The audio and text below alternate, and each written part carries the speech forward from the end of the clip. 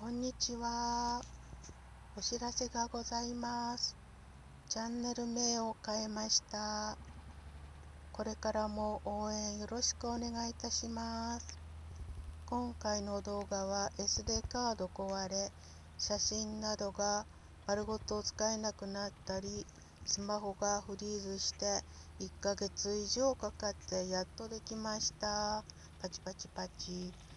青森県のニンニクは有名ですが、田んぼアートで有名な田舎館村のある津軽地方やなんといっても田子町、多くの皆様知っておられると思います。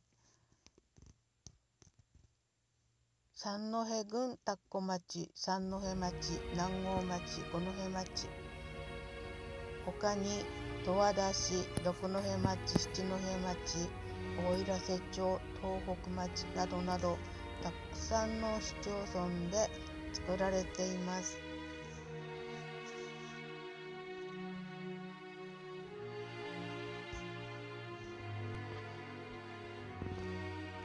お茶は買ってこなくても家にあるもので大丈夫です。多少年数が経っていてもお茶の色や匂いがすれば使えますので使ってみてください。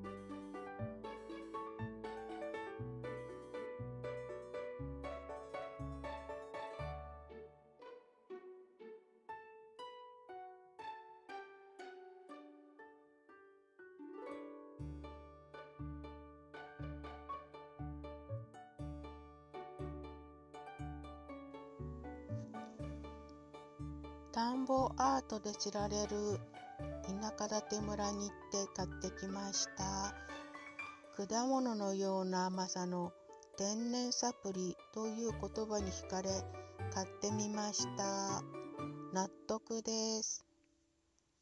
とてもフルーティーで美味しかったです。あと一月以上かかって作ったというふうにどこかで読んだんですが多分炊飯器よりも低い温度で作られたんだと思います。にんにくの外側もきれいでしっかりしていました。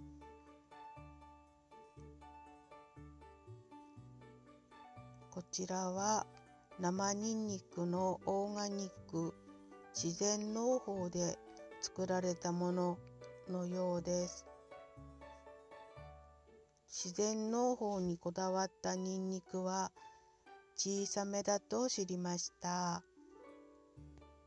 こちらも皆様の参考になればと思い買ってきて黒にんにくと比べた動画になります。